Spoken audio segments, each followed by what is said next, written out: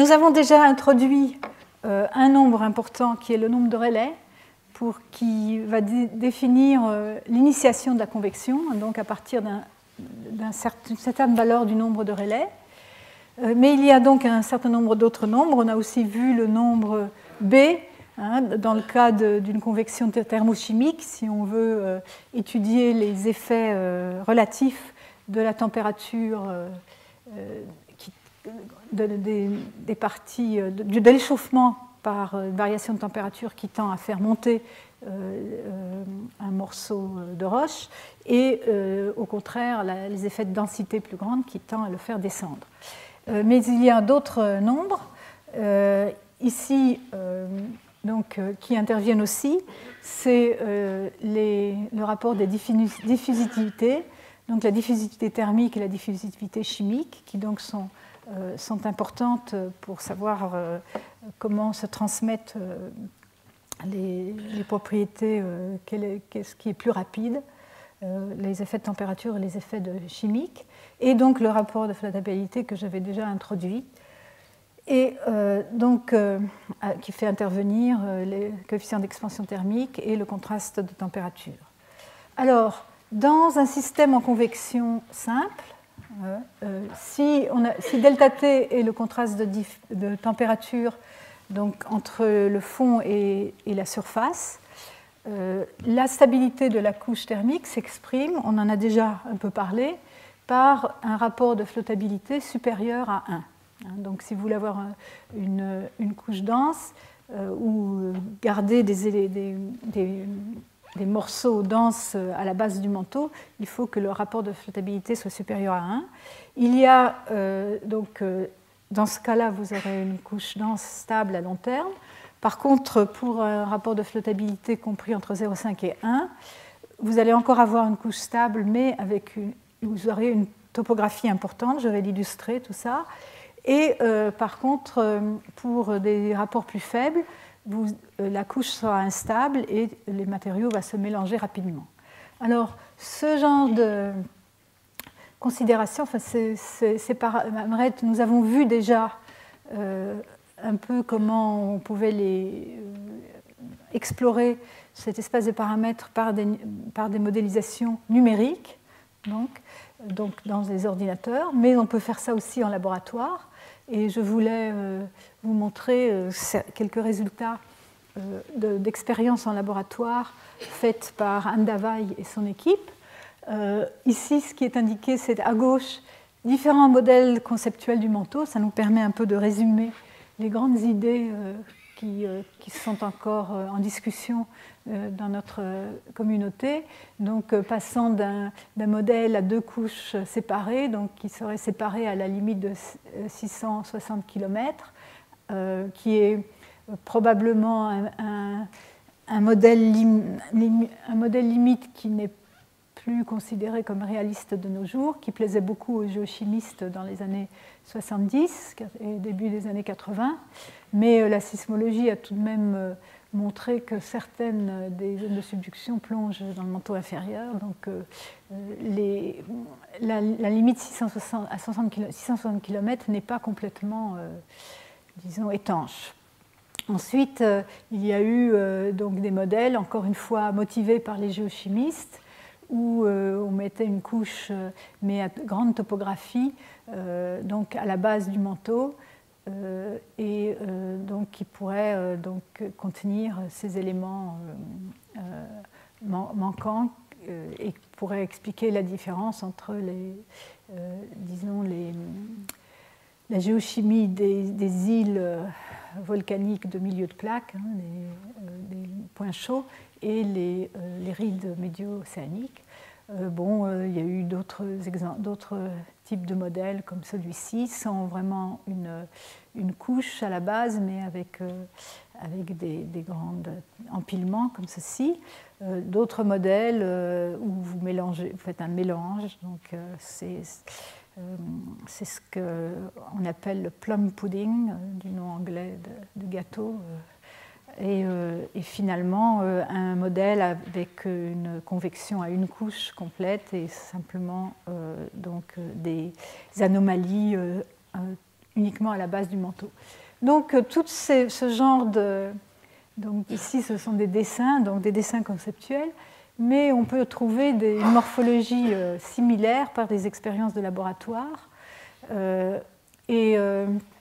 Ici c'est un exemple, donc une évolution dans le temps pour un cas particulier euh, d'expérience où euh, au départ on a deux fluides euh, miscibles, des fluides miscibles avec des densités, des viscosités différentes des épaisseurs différentes, donc marquées ici par ρ les densités, nu la viscosité et h l'épaisseur. donc, et on peut donc mesurer la température et faire des, photos de ces, structures euh, en fonction du temps et on observe donc euh, au bout d'un certain temps, c'est un, système avec un, chauffage par le bas et refroidissement euh, par le haut. Vous voyez se former de la topographie. C'est dans un cas où le B est assez faible, 0,3, hein, donc inférieur à 0,5. Vous voyez se former une grande topographie d'abord sur cette couche, dont sont issus des panaches euh, ici, vous en voyez deux qui apparaissent. Et ces panaches, en fait, euh, dus à cette euh, valeur particulière de B, vont, rapidement se séparer de la couche du bas, avec, relié à la couche du bas par un filament très très, très, très fin. Donc, et au bout d'un certain temps, le mélange, tout ça va se mélanger complètement. Donc un cas de, disons, euh, de système instable. Euh, et donc euh, cette équipe a, exploré aussi de manière systématique, mais cette fois-ci en laboratoire, les, en fonction de ce nombre de flottabilité, de l'épaisseur de la couche du bas euh, de la, couche du bas, donc le rapport d'épaisseur hein, des, deux couches. Et euh, donc, euh, on voit que pour des faibles rapports de flottabilité, ce qu'on savait déjà, bien sûr, enfin, ce qu'on confirme par les, méthodes numériques, les, les, couches sont instables et on, finissent par se mélanger, quelle que soit l'épaisseur de la couche. Vous avez donc à des à des valeurs de B très importantes, vous finissez avec une couche euh, euh, plane, hein, donc euh, une, couche plane, ce qui est aussi vu numériquement. Et puis entre les deux, vous avez un domaine avec l'apparition de topographie très forte sur la couche dense et aussi des formes de, de, panache qui sont en fait des, des dômes, qu'ils appellent des dômes. Donc euh, tout dépend bien sûr de B, mais dépend aussi du nombre de relais et euh, de la présence de... Euh, et donc ici, enfin, en fonction de, la composition, à gauche vous avez le cas de composition homogène, donc des panaches purement thermiques qui ont des formes caractéristiques de, comme des champignons, ici de nombreux champignons. Et par contre, si vous avez des variations de composition. La, euh, variation de composition va influer sur euh, euh, la, forme de la convection, sur la topographie de la couche et sur la présence, donc ici déjà des valeurs de B importantes nombre, et des nombres de relais réalistes, ici de l'ordre de 10 puissance 7, vous, voyez apparaître des panaches thermochimiques, donc qui sont, qui, à la fois, sont à la fois chauds et euh, de composition euh, différente du manteau ambiant, qui euh, donc sont ancrés à la base du manteau. Et donc, on peut regarder ça de plus près, aussi en fonction de la viscosité de la couche du bas. Si la couche du bois est moins visqueuse que la couche du haut, vous allez avoir un certain type de panache, comme ceci, euh, qu'ils appellent les, panaches de cavité. Et euh, si euh, la couche est plus visqueuse, la couche du bas est plus visqueuse, vous voyez apparaître donc ces espèces de dômes qu'ils appellent aussi panaches diapyriques. Donc, et au bout d'un certain temps, ceci donne des, morphologies différentes pour vos panaches. Alors, donc ça c'est les expériences de laboratoire. Euh, il y a maintenant, donc, je vous ai dit, ces différents codes d'éléments finis qui résolvent les équations de manière numérique, euh, et en particulier donc, ce code sitcom S, donc en 3D sphérique, et donc qui permet des géométries plus vraiment réalistes dans la Terre, euh, qui permettent de prendre en compte la, dépendance de la viscosité à la température. En général, on, considère à la, surface des conditions de bord de, glissement libre et euh, donc on part de modèles avec une couche dense à la base du manteau. Donc euh, bon, là je répète un peu ce que j'ai dit au début, mais on va voir un peu avec, sur des modèles un peu plus réalistes. Et donc là, euh, on observe en fonction du temps que les structures se déforment et sont, euh, euh, si on, fait ces calculs sans introduire d'autres paramètres ou d'autres conditions supplémentaires, on obtient à la base du manteau des, structures qui forment des crêtes, des crêtes linéaires, qui ne, correspondent pas à ce qu'on observe par la sismologie, du moins, si vous vous souvenez, Là, le superpanache du Pacifique a une forme arrondie. Le superpanache euh, de, sous l'Afrique, on peut penser qu'il a une forme allongée qui, va s'étendre jusque sous l'Islande. Euh, mais en tout cas, il y en a au moins un qui a vraiment une forme arrondie et on n'arrive pas à reproduire ça par euh, ces modélisations simples. Alors, donc, à ce moment-là, donc, je, voulais mentionner cette étude de McNamara et Zong qui ont proposé d'inclure en plus dans ce genre de calcul 3D euh, comme condition limite l'histoire de la subduction euh, donc, à la, à, la, surface de la Terre. Donc ils ont comme condition initiale une couche d'anomalie de densité assez importante qui correspond à un B de 0,6 et donc ils vont faire varier l'épaisseur de cette couche initiale et ils vont prendre en compte différentes étapes de l'histoire de la tectonique des, plaques sur les derniers 120 millions d'années. Donc ils vont introduire euh, ceci comme condition limite dans leur modèle. Et donc ils utilisent ce code-là et des traceurs, donc, euh, euh, comme, j'avais déjà introduit, pour la distribution des étorches chimiques. Ils ont un nombre de relais assez élevé, de 2,7 10 puissance 8 et euh, une, viscosité qui dépend à la fois de la température et de la, profondeur, avec un saut euh, de viscosité de 30 à, la discontinuité de 60 km, qui est, qui est réaliste, c'est euh, en accord avec les, disons, ce qu'on peut, ce peut obtenir par les études du géoïde et autres, autres études du rebond post-glaciaire. Et ils ont un chauffage par le bas et un chauffage interne.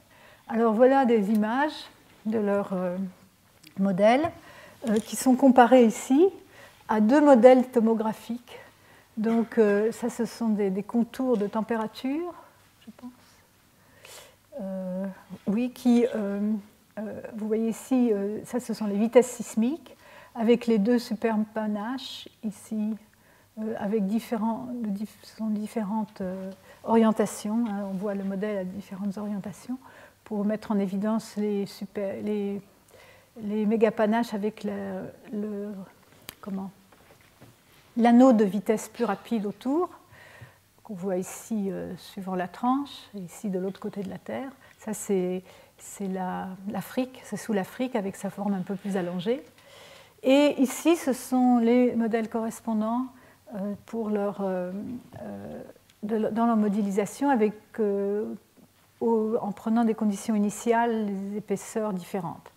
Et donc le, but de cet exercice, c'est de montrer que s'ils prennent une couche trop épaisse, ils n'arrivent pas à euh, avoir euh, quelque chose qui correspond avec euh, les observations de la tomographie sismique.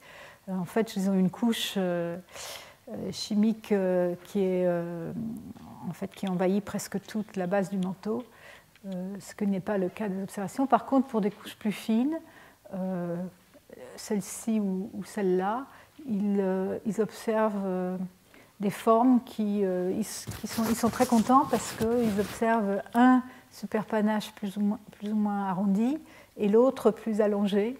Donc, euh, euh, très, en relativement bon accord avec euh, les modèles sismologiques. je pense que ça se voit surtout sur cette, si on regarde cette colonne-là. On le voit assez bien.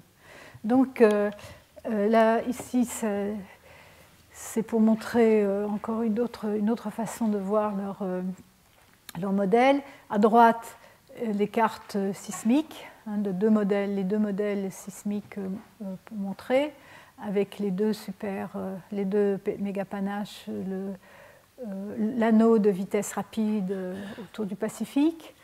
Et donc ici, à différentes profondeurs, les, profils, les, les cartes de température qu'ils obtiennent pour leurs différents modèles. Donc celui-ci qui est celui où la couche est vraiment trop épaisse et on ne voit pas du tout on n'a pas du tout les formes qui correspondent à ce qu'on voit par la sismologie, mais dans les deux autres cas, vous voyez effectivement quelque chose d'arrondi sous le Pacifique et euh, euh, une, forme plus allongée euh, sous l'Afrique. Pour montrer par contraste ici le cas où il n'y a pas de variation chimique, hein, le cas isochimique montre des structures beaucoup plus euh, linéaires euh, qui, ne, qui, ne, conviennent pas du tout. Donc, euh, ils en concluent qu'effectivement, la subduction joue un rôle dans la, morphologie de, des structures à la base du manteau. Voilà encore une fois donc une autre, un autre calcul du même style, celui-ci en géométrie cartésienne, euh, la tomographie sismique, hein, encore une fois les, super, les mégapanaches, leur modèle thermochimique euh, qui, arrive à reproduire euh, le, la forme du superpanache pacifique et la forme plus allongée de celui d'Afrique. Par contre, euh, si vous considérez un modèle purement thermique et sans euh, faire intervenir des conditions euh, disons dues à la subduction, vous obtenez une morphologie vraiment très différente avec ces petits panaches en forme de champignons. Donc, encore une fois, une confirmation du rôle important des variations de composition et peut-être du rôle important de la subduction. Euh, ici, donc, euh, ce qui a été euh, fait ici, c'est encore une étude récente où, enfin, je montre tous ces exemples pour montrer la grande variété de, conditions qu'on peut imposer tous les paramètres qu'on peut faire varier à l'intérieur du manteau et qui ne sont pas jusqu'à présent complètement, disons, euh, contraints. Euh, ici, ils ont étudié l'influence de la composition et de la température sur la viscosité et l'influence de la pente de Clapeyron de la discontinuité à 60 km. C'est pour ça que je voulais montrer ce travail-là. C'est qu'en plus donc, des variations chimiques, euh, en plus de toutes les conditions au bord, il y a le fait que la discontinuité de 660 km, avec sa pente de Clapeyron négative, joue un rôle de freinage pour euh, la, pour la pénétration des plaques à la base du manteau et donc euh, il faut aussi en tenir compte. Ils en ont euh, donc dans ce calcul, donc ils tiennent compte de, de, ces variations de température sur la viscosité, de la, du rôle de la pente de Clapeyron de la discontinuité de 60 km. Ils ont extrait un spectre de longueur d'onde. Alors je ne sais pas si vous, j'aurais dû remettre ici euh, si vous vous souvenez du spectre des hétérogénéités euh, sismiques, euh, qui est très, très large à la, en, haut, de la, de la, près de la surface, Ensuite, il est, au milieu du manteau, il est, c'est un spectre plutôt blanc. Mais à la base du manteau, il devient très, de nouveau très, rouge, c'est-à-dire dominé par le degré 2, dominé par les, très grandes, les plus grandes longueurs d'onde. Apparemment, euh, leur spectre ici n'est pas encore euh, parfait pour ce qui est de, la comparaison avec les, modèles sismiques. Euh, donc on peut aussi se poser, pour finir, la question de la stabilité des bords des, superpanaches. Nous avons vu que la sismologie montre que les superpanaches ont des bords relativement abrupts. Comment peut-on expliquer ça et comment peut-on les obtenir euh, avec euh, donc euh, qui seraient stables à long terme? donc là aussi, il y a des études qui sont donc focalisées sur cette question particulière et en particulier les travaux de Tan et Gurnis avec un modèle de convection thermochimique cette fois-ci compressible. Hein, donc ça c'est encore une des conditions que les, géodynamiciens peuvent avoir ou ne pas avoir dans leur modèle, auquel il faut, il faut faire attention. Et donc, euh, ils ont exploré les paramètres pour avoir une, la stabilité d'une couche de composition différente à la base du manteau. Euh, et euh, ce qu'ils ont trouvé de particulier, c'est que pour, pour, pour contrebalancer l'augmentation de l'expansivité thermique euh, quand vous partez de la base du manteau vers donc à, plus faible profondeur, à plus faible pression, il faut que le contraste de densité compositionnelle, donc cette densité plus forte que la moyenne dans les LSVP, doit euh, se concentrer aussi sur les bords euh, en haut des LSVP, doit augmenter avec la, hauteur au-dessus de la CMB. Donc ça, je vais vous le montrer ici. Donc ça, ce sont leurs, leurs modèles. Ici la température, ici les variations de densité. On peut, on peut regarder les deux euh, montrent à peu près euh, la même chose au point de vue des formes. Et vous voyez qu'ici c'est en fonction des différents rapports de, de densité. Le, ici chimique en bleu, euh, jaune en, en, jaune, la, la densité de, due à la température et les, les, variations de température, tout ça en fonction de la profondeur. Et vous voyez, suivant ces rapports, vous allez avoir des morphologies très différentes. Ici, des, panaches euh, plutôt euh, thermiques, hein, donc avec leur forme euh, en champignon. Et jusqu'à ici, avec, vous allez avoir une,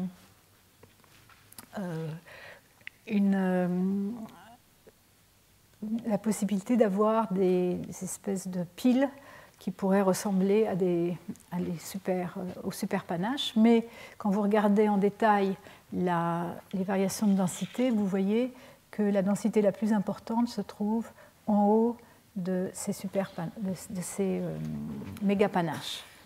Donc, euh, ceci pourrait correspondre à ce qui ressemble le plus à ce qu'on voit à l'intérieur de la Terre. Par contre, cette variation de densité avec la hauteur à l'intérieur de l'SVP, c'est quelque chose qui n'est pas euh, encore tout à, euh, vraiment résolvable par la sismologie. C'est quelque chose qu'on pourrait essayer euh, de regarder de plus près, peut-être avec les données de mode propre de la Terre. Et donc ici, donc ils ont résumé on, retrouve toujours les mêmes, euh, les mêmes différents cas avec euh, les, euh, les différentes morphologies de, panache. Et ces, ces, cas aussi en fonction de, du, de, de la viscosité de, cette couche de composition différente et aussi de son, de son coefficient de compressibilité vous allez avoir des formes différentes, celle du bas pouvant euh, correspondre à, ce qu'on voit par la, sismologie.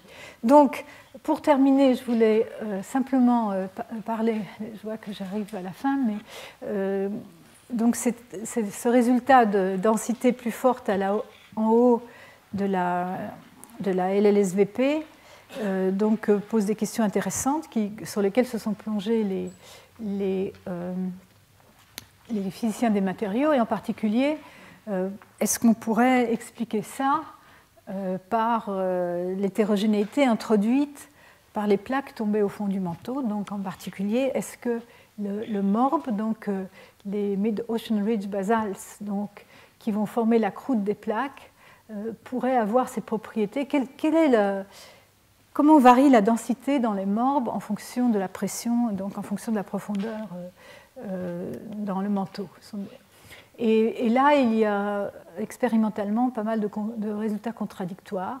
Certains disent que euh, certains euh, font penser que le morbe est moins dense que le manteau à la base du manteau, d'autres qu'ils sont plus denses.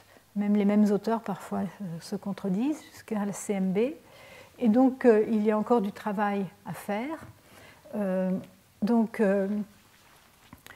euh, donc du travail à faire en laboratoire. Et donc je voulais terminer par une étude qui a été faite récemment par Ricolo euh, et, euh, collaborateurs qui ont pris un échantillon de morbe naturel et l'ont étudié donc, dans, la, dans la, presse à cellules de diamant avec analyse par les diffractions des rayons X jusqu'à des conditions du manteau inférieur. Et euh, donc, il regarde ce que devient euh, ce morbe, donc il analyse sa composition chimique et, les phases formées au cours de ses expériences. Donc, euh, bon, le morbe se distingue de la pyrolite par le fait qu'il est enrichi en, éléments incompatibles, alcéana, et appauvri en magnésium. Et donc, ce qui distingue le morbe du manteau ambiant et de la pyrolite, c'est qu'il n'a contient pas de ferropériclase, mais plutôt du SiO2 et des phases enrichies en aluminium. Euh, donc, euh, ces auteurs ont pu calculer le profil de densité du morgue pour différents géothermes. Et voici les résultats où ils montrent ici, donc ça c'est le PREM, donc le modèle de référence sismique, la densité en fonction de la pression, et euh, leurs résultats expérimentaux à différentes euh, température, euh, comparé aussi euh, aux, résultats des autres auteurs. Et donc, ce qu'on peut en voir très rapidement, c'est que partout, donc dans ce domaine de profondeur, la, la croûte, le morbe, est plus dense que le manteau ambiant. Et donc, leur conclusion, c'est qu'effectivement, cette croûte peut atteindre la limite noyau-manteau et elle pourrait avoir une densité euh, euh, qui pourrait être au moins supérieure à 1% par rapport euh, à la densité ambiante. Donc ça c'est simplement pour le morbe. Il faut bien sûr une plaque plongeante, c'est la croûte et le manteau de la plaque, et le manteau c'est de la harzburgite, donc c'est la partie complémentaire hein, et dont les propriétés sont plus proches que, celles de la pyrolite. Et donc maintenant, les dynamiciens euh, peuvent également rajouter ce genre de détails dans leur modélisation. Ils peuvent inclure non seulement des plaques, mais en plus des plaques stratifiées avec une composition euh, qui inclut une croûte de morbe et euh, une lithosphère de harzburgite. ils peuvent inclure toutes sortes d'autres considération, l'effet de la discontinuité de 160 km, la transition de phase perovskite à post-perovskite, le fait que le manteau peut être compressible, euh, donc, et la variation de la viscosité avec la température. Euh, et ils ont là, donc, ce sont euh, les travaux de, de l'équipe de Taclé à Zurich. ils considèrent donc un manteau pyrolytique avec des hétérogénéités de composition qu'ils forment par fusion au ride Hein, donc, euh, au départ, vous avez une structure homogène, mais lorsque euh, les, courants ascendants arrivent au ride, vous avez fusion partielle et donc euh, formation d'hétérogénéité chimique, de croûte, formation de croûte océanique. donc, je vais simplement vous montrer un résultat d'une simulation donc, complètement 3D avec tous ces effets inclus où euh, donc au bout de, il commence ici à, 3,6 euh, milliards d'années avant présent, et ici c'est ce qu'ils obtiennent à, l'époque présente. Et euh, donc ils obtiennent des structures qui peuvent faire penser donc au super, au SL et l'SVP, avec des bords relativement stable et relativement abrupte. moi, ce qui ne me plaît pas dans cette image, c'est que leurs leur LSVP sont distribués un peu un peu partout, alors que dans la Terre, on a quand même euh, cette euh, structure vraiment très particulière avec les deux LLSVP antipodales. Et euh, alors là, il y a une, polémique avec les géodynamiciens dont certains pensent que les LSVP qu'on observe aujourd'hui, c'est par hasard qu'on les observe euh, de enfin, avec cette morphologie particulière de, structure antipodale de degré 2, mais que, euh, et, d'autres euh, qui, pensent que, au contraire, c'est un, élément important qui devrait pouvoir être reproduit par les modèles géodynamiques. Voilà, alors je vais arrêter là. Je, ne parlerai pas du de l'océan de magma euh, primordial, tant pis. Euh, je veux juste faire une conclusion générale. Donc, euh, pour notre connaissance du manteau inférieur, nous commençons par la sismologie, hein, les données sismologiques, les observations par la tomographie sismique et les modélisations des ondes sismiques, qui nous mettent en valeur des structures remarquables à la base du manteau, donc les LLSVP, que vous connaissez bien maintenant, donc ces, grandes structures de vitesse sismique plus euh, lente que la moyenne, euh, disposée euh, aux antipodes plus ou moins équatorialement à la base du manteau. Les, ULVZ, j'ai passé pas mal de temps dessus, la présence d'anisotropie très frappante à la base du manteau. donc, évidence qui, par, sont des hétérogénéités qui font penser à des hétérogénéités de composition. si on on les confronte, mais on ne peut pas le faire directement, mais avec la géochimie, donc les observations euh, géochimiques de surface qui montrent la présence d'hétérogénéité importante. Et euh, donc euh, leur origine encore pas très bien connue, plaques accumulées au cours du temps, ou bien couches primordiales issues d'un océan de magma dont je n'ai pas eu beaucoup de temps de parler. tout ça, on a beaucoup confronté ensuite avec l'information euh, que nous fournissent la physique des matériaux, euh, la découverte de la transformation de phase perovskite en post-perovskite récente, 2004. Hein, la découverte de la transition de spin du fer, c'est aussi récent, 2003. 2003. Euh, et donc ensuite, les progrès dans la caractérisation des propriétés des matériaux haute pression et température du manteau inférieur, qui sont très rapides actuellement grâce au progrès des instruments de laboratoire et euh, l'association de la euh, presse enclume de diamant avec euh, les synchrotrons et donc les techniques associées, qui permettent peu à peu de préciser les différents comportements et les compositions.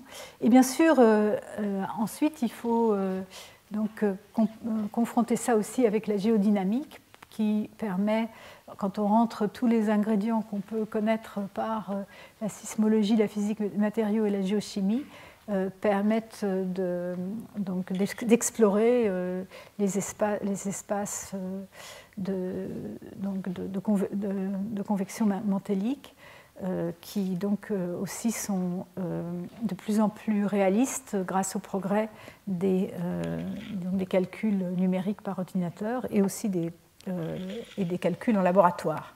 Donc voilà, j'espère que je vous ai donné une idée d'une discipline vivante qui donc nécessite en fait, d'un domaine vivant qui nécessite euh, d'assembler euh, des, morceaux provenant de, disciplines différentes, euh, qui sont toutes très importantes. Et donc pour l'étude de, la Terre et du manteau profond en particulier, il, faut pouvoir se plonger non seulement dans une discipline particulière très à fond, mais aussi essayer de comprendre les subtilités des, derniers résultats ou des progrès qu'on peut faire ou des limites aussi euh, des autres disciplines. Voilà, je vous remercie et je vous rappelle que nous avons un, donc euh, un workshop euh, la semaine prochaine, mardi et mercredi, les deux journées qui se tiendra dans cette salle-là, euh, donc ouverte à tout le monde. Le colloque sera en anglais, mais vous verrez avec la base du cours de ces dernières semaines, vous pourrez sans doute suivre donc les, communications des, chercheurs sur, leurs résultats les plus récents. Voilà. Je vous remercie.